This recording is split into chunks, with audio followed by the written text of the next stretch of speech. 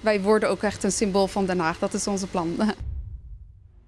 25.000 euro om als ondernemer je kiosk te vernieuwen en duurzaam te verbouwen. Dat bedrag valt er te verdienen met een prijsvraag die is uitgeschreven door de gemeente Den Haag. Op het spui staat een tijdelijke kiosk waar Haagse kiosken worden belicht.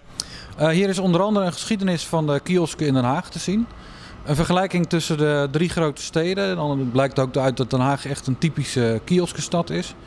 Maar ook kan er in de kiosk gestemd worden op de drie genomineerde kiosken. Een van hen is Ada's kiosk.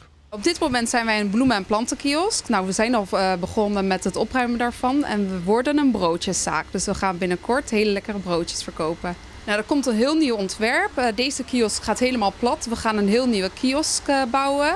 En aan de rechterkant, dus richting de uh, daar komt een hele mooie ooievaar in de muur verwerkt met bakstenen. En dat is ook ja, symbool van Den Haag wij worden ook echt een symbool van Den Haag. Dat is onze plan.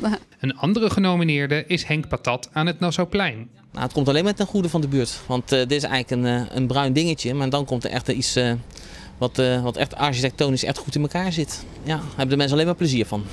Nou, we hebben geen wc hier. We hebben geen water. En geen gas. Dus ja, dat zijn drie essentiële punten hè, waarop je moet draaien. Dus ik heb alleen elektra. Dus het is een beetje met, met de riemen roeien die je hebt. Hè. Ja. En hoe zou het jou helpen als je een van die bedragen wint? Ja, dat zou me heel erg goed helpen. Dat, uh, dan worden de lasten wat lichter en uh, het ondernemen ook leuker, denk ik. En waarom zou iedereen op jou moeten stemmen? Op mij moeten stemmen? Ja, ik denk stem op mij, want het is een geweldige buurt hier. En ik denk ook dat, dat het zeg maar een, een aanwinst is, omdat je dan een wat schonere zaak hebt, denk ik. Nou, uh, stem op ons, zodat wij als jong gezin het geld goed kunnen gebruiken in de verbouwing. Stemmen op de kiosken kan nog tot aanstaande vrijdag 12 uur op het Spuiplein.